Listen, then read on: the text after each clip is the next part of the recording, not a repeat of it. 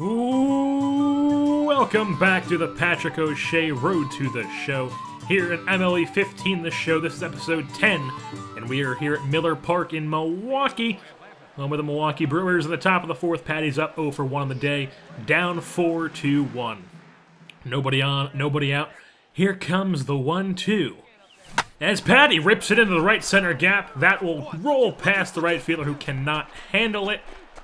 But he will only be credited with a single as Patty will stretch it into third, but they will count it as I guess it was a single and then he committed an error, so he only gets counted with a single on the play. But he's on third here with one out, and that's ripped down the right field line.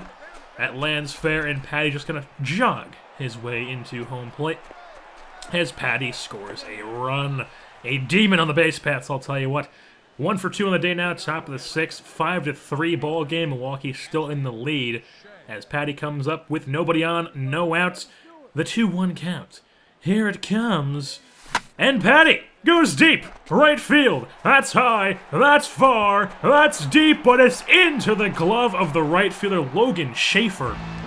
Go up and get it, young fella. Robs Patty O'Shea of a home run, and the Braves do come out on top 10 to 5, shellacking the Atlanta Braves as Patty goes 1 for 4 yet again. Why is Patty only going 1 for 4? What's the deal? Anyway, now we're here at Coors Field, home of the Colorado Rockies, the Rocky Mountain Way.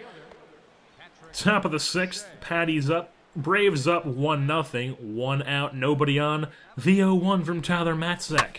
As Patty goes in the right center gap, that'll land, roll to the wall as Patty heads in a second, and he's gonna hold up at second base. As the throw will come in, but Patty's got himself a double into the right center gap, and once again, why is Patty always going one for four? He can't get hits. What's the deal? And he goes one for four yet again. Another game against the Rockies here, heading 205 now, three home runs, 17 RBIs top of the first inning. One on, two outs, the 0-1 pitch. It goes up the middle. Patty O'Shea with a single. Runner moves up the second. And Patty O'Shea has himself a base knock on his first at-bat of the ball game. So now he comes up for a second at-bat. One for one in the day. Average bumped up to 211. Nobody on, two outs, Braves up 2 nothing. What does Patty do? Patty does what Patty does. He gets a base hit. He got two base hits in the game. What's the deal? I don't know why I keep doing that. It's like dirty Soprano jokes, but not Soprano. Seinfeld, not Soprano. Soprano, you know, if you've seen Soprano, uh, Se if you've ever seen Seinfeld, it's uh, it's pretty much what's the deal? All those kinds of jokes. As Patty swipes second base, as Michael McKenry, I believe is the name, drops the ball, and then Patty goes and swipes third too. Great jump, stealing second and third, and Patty picks up two stolen bases and he would eventually not be driven in.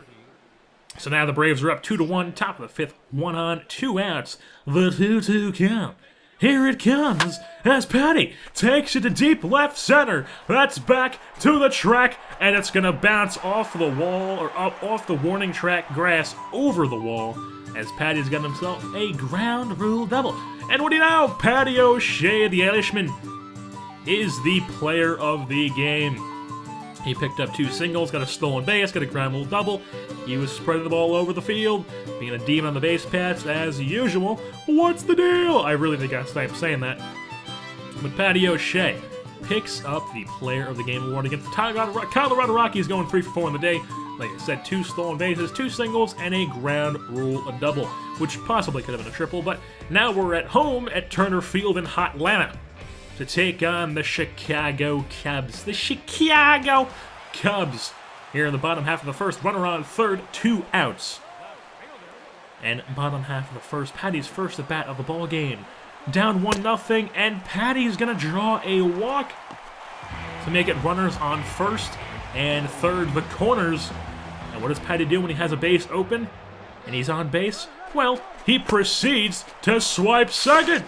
That's what he does. Patty O'Shea with another stolen base. That is what he does, but unfortunately he goes 0 for 3 on the day. Which is uh, quite unfortunate. He goes 0 for 3 on the day, but he does swipe the base. Now we'll pick things up in a game against the Chicago Cubs once again. in Hotlanta. So, bottom half of the fifth inning. 0-2 on the day with two pop outs because he just pops up, pops up, pops up, pops up, grounds out. And now, down by three, I mean down three to, up three to two, not uh, down, up three to two to the Cubs as Patty goes gapping. Scores one, will score two as Patty heads into third, sliding with a triple as Patty O'Shea got himself a two RBI triple, five pitch of that solid contact and he puts the Braves in the lead even more. They would eventually come out on top 6 to 3 as Patty goes 1 for 4. What's the deal? Once again, another 1 for. And now we'll pick things up in another series in Atlanta, but this time against the Los Angeles Dodgers. It's Dodger Baseball. With Vin Scully on the Dodger Radio Network. So Patty comes up for his first at bat in the bottom half of the second, leading off the bottom half of the second. 2 0 count, nobody on, no out. The pitch from Brandon McCarthy is ripped into right field. That'll hop off the wall, bounce to the right fielder as Patty will not stop at second base. He heads into third, slides, and he's in there with the triple. Patty O'Shea, the Irishman, coming up with his fifth triple of the year. He is now third in the National League in triples, only behind Jason Heyward and Jimmy Rollins. So now bottom half of the sixth. 2-2 tie, one out, nobody on, 3-1 count to Patty the kick, and the pitch from McCarthy. Could have been called a strike, but they do call it a ball, so Patty O'Shea draws a walk. A five-pitch walk. So he's on first, one out, nobody on, and Patty goes and swipes second base. Like he always does. Patrick O'Shea. That is his 20th stolen base of the season, only behind Eric Young Jr., EYJ, who has 29, and then he's late years in front of Pedro, I think it's Curacao or Curacao, something with five. And then Kelly Johnson with five. And then Patty tries to steal third. The ball is hit. Jump throw. And Patty advances home on the jump throw. So Patty scores on an attempted steal that blows up in the Dodgers' face, but he goes one for three on the day. He would have won him for four. Once again, another one-hit ball game. What's the deal? As that will wrap things up here for episode 10 of the Patrick O'Shea Road to the Show here in MLB 15 The Show. Patty is now an 86 overall and the second, the second best player in the Braves organization. If you ask me, that is absolutely ridiculous. It's uh, it's quite unrealistic, and uh, I did call up quite quite a bit too fast, but I'm not going to complain, as I'd much rather be playing in the major leagues than grinding through the minor leagues for four years at a time. So, adios, Shay. Episode 10 is wrapped up. I've been your host, Jersey Born, and I'm saying goodbye.